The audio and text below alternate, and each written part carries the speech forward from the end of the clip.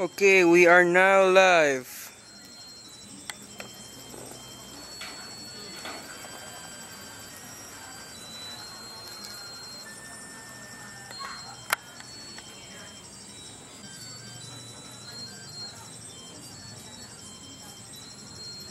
There it is.